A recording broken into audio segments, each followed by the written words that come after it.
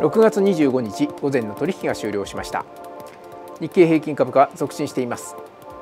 今日の前引けは169円74銭高の3万9000飛び飛び1円39銭となりました。トピックス東証株価指数も39.40ポイント高 JPX 日経400,338.25ポイント高とそれぞれ上昇、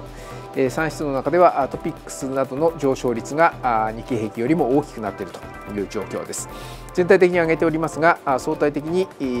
半導体関連年傘ハイテクのウエイトのある高い日経平均の方が上昇率としては小さめという展開であります。中身見てみますと全面高です。東証プライム市場売買、えー、値上がり銘柄数は全体の約 89%1457 銘柄。これに対して値下がりが約10%の162銘柄。変わらずが約1.5%ほど25銘柄という全引けの構成で全面高です。トピックス規模別株価指数もいずれも上昇。大型中型小型揃って上げています。3指数の中では大型株の上昇率が一番大きめまあ、大型株主導の上昇という側面もあります。最も中型、小型も揃って上げています。まあ、全面高ということですから、当然といえば当然ですが、え特に半導体関連などを除く大型株が全体的に強めの地合と言えるでしょう。えこの辺りも反映しまして、商いは最近としてはやや多めです。全引け段階東証プライム売買高7億3700万株余り売買代金1兆8955億円1兆9000億円近い売買代金をこなしました、えー、このペースでこのペースで1日通して、えー、推移すれば4兆円台、えー、には届きませんが3兆円台後半というところで、えー、着地しそうなペースですから最近としては多めということが言えるでしょう。今日は朝方は日経平均難聴な点下げる難聴で下げる場面も見られました。昨日のニューヨーク市場がダウ平均が上昇。ナスダック半導体関連などのウエイトの高いハイテク系の銘柄が多い。ナスダック指数が下落と。まちまちの終値で戻ってきました。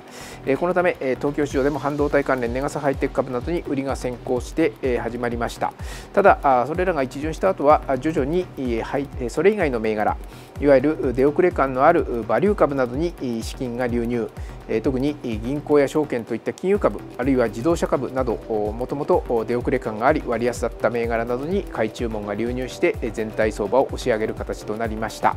日経平均の上げ幅一時200円を超える場面も見られております。もっともトピックス東証株価指数はそれ以上に強い地合いとなっておりまして先ほど述べました銀行や自動車など時価総額の大きい大型株が指数を押し上げる展開となっています。中型小型もしっかりスタンダード市場やグロース市場の銘柄などにも上昇する主力の銘柄で上昇するものが目立っています。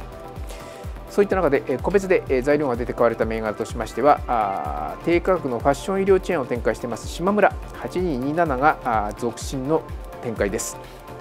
昨日の引け後決算発表を行っておりまして手がかり材料になっています、えー、島村は2月期決算の会社でありますので、えー、昨日はその第一四半期決算を発表しました、えー、これが増収増益だったと。低価格のあ高価格の PB 商品の販売好調などで、好調な第一四半期がとなったということが交換されて堅調な値動きとなっています。逆に下げた銘柄半導体関連特に値傘のハイテク株と言われるような銘柄が難聴逆行安です、えー、例えば半導体の切断検索検索装置世界トップのディスコ6146などは売り注文に押されて大幅続落。えー、昨日のニューヨーク市場での半導体株安があ売り材料視されて、えー、海外投資家などの売り注文に押される展開です。以上今日全引けの東証アローズからお伝えしました。